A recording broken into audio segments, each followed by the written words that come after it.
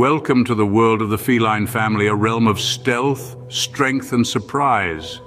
Today we're delving into the top 10 strongest cats prowling our planet. At 10 we've got the cheetah.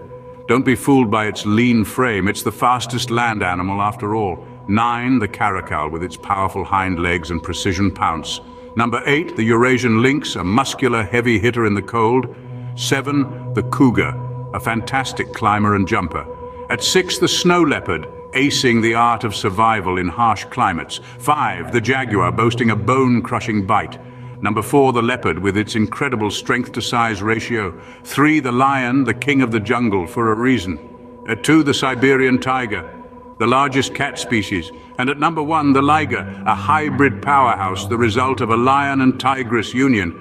There you have it, the top 10 strongest cats in the wild, each a marvel of nature's design.